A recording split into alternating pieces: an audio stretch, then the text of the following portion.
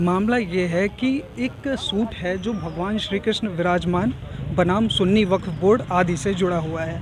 इसमें एक भक्त हैं, मनीष यादव, जिन्होंने एक वाद वहाँ पर दायर किया हुआ है, जिसमें सुन्नी वक्फ बोर्ड ने टोटल जो भगवान श्री कृष्ण विराजमान की जो ज़मीन है, तेरह दशमलव चार सात एकड़ की है, जिसमें से कुछ हिस्सा सुन्नी वक्फ बोर्ड ने ले रखा है।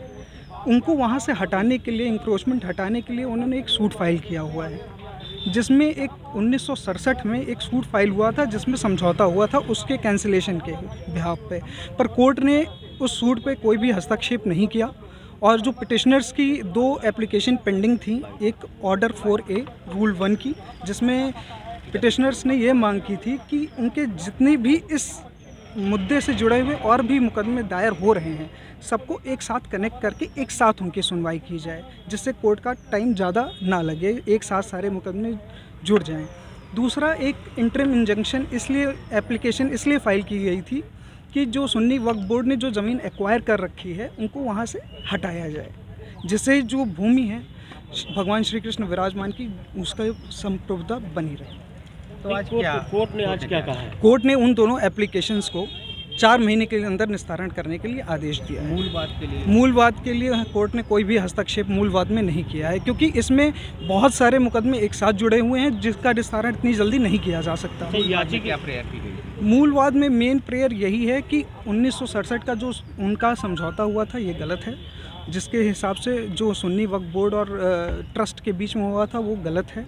गलत तथ्यों के आधार पर किया गया था उनको निरस्त किया जाए और जो सुन्नी वक्फ बोर्ड है जिन्होंने एक्वायर कर रखी उनको उस ज़मीन से हटाया जाए। अच्छा लोअर कोर्ट में चार महीने जी। जो। दो एप्लीकेशन दी जी। जिसमें चार महीने की बात जी, जी। हाई कोर्ट ने कहा उसमें क्या था? इंटरिम इंटरिम रिलीफ के लिए हमने लोअर प्रेयर कोर्ट को। इंटरिम रिलीफ की हमें तुरंत कोई रिलीफ इंटरिम दी जाए।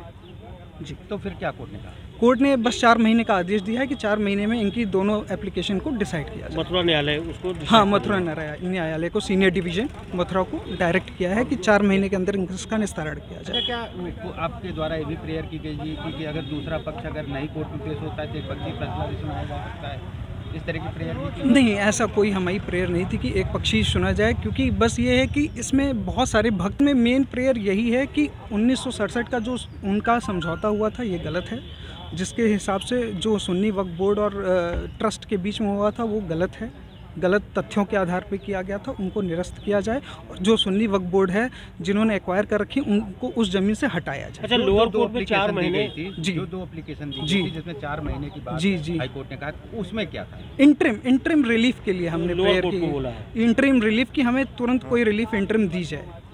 जी। तो फिर क्या कोर्ट ने कहा? कोर्ट ने बस चार महीने का आदेश दिया है कि चार महीने में इनकी दोनों एप्लीकेशन को डिसाइड किया जाए। मथुरा न्यायालय उसको हाँ मथुरा न्यायालय न्यायालय को सीनियर डिवीज़न मथुरा को डायरेक्ट किया है कि चार महीने के अंदर इसका निस्तारण किया जाए। अच्छा क्या आपके द्वारा ये भी प्रेयर की गई है कि, कि अगर दूसरा पक्ष अगर नहीं कोर्ट में पेश होता है तो एक पक्षी फैसला भी सुनाया जा सकता है?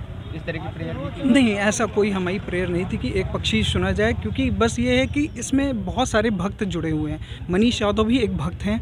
ऐसा भी हो सकता है इन फ्यूचर कि और भी भक्त कोर्ट में अप्रोच करें। अलग अलग वाद लेके आएँ। इसलिए कोर्ट से हमने ये प्रेयर की है कि सारे वादों को एक साथ जोड़ दिया जाए। जिससे कोर्ट का टाइम मेरा नाम है हर्षित गुप्ता मैं इसमें पिटिशनर की तरफ़ से काउंसिल हूँ। जी।